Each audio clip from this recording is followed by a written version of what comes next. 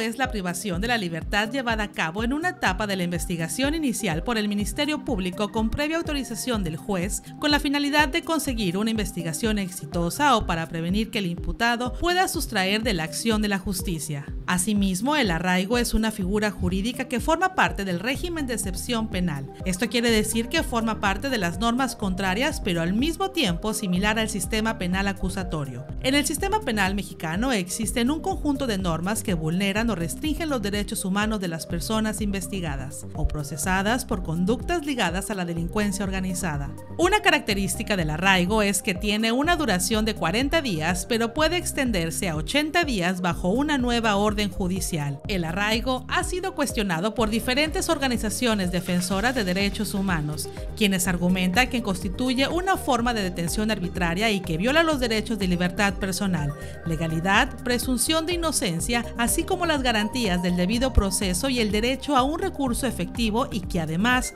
amplía las posibilidades de una persona de ser sometida a tortura u otros tratos crueles, inhumanos o degradantes. Sin embargo, el arraigo es la medida precautoria que tiene por objeto asegurar la disponibilidad del inculpado en la investigación previa o durante el proceso. Los requisitos para dictar el arraigo son los siguientes. 1. El arraigo debe ser solicitado por el Ministerio Público a un juez. 2. Deberá ser solicitada únicamente en casos de delincuencia organizada. 3. Las modalidades de tiempo y lugar deberán ser establecidas por el Ministerio Público. El arraigo podrá ser aplicado únicamente conforme a lo establecido por la Ley Federal contra la Delincuencia Organizada, en el cual se establece que la delincuencia organizada será cuando tres o más personas se organicen y lleven a cabo en forma permanente o reiterada conductas que por sí mismas o unidas tengan como fin el resultado del cometer alguno de los delitos siguientes. Terrorismo, delitos en material de derecho de autor,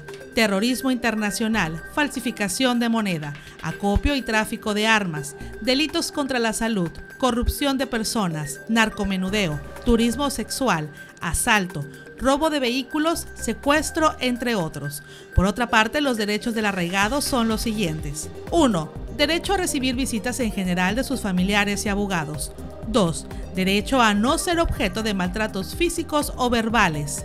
3 derecho a que se le informe del delito que se le imputa. 4. Derecho que la autoridad le provea de alimentos. 5. Recibir atención médica si lo requiere.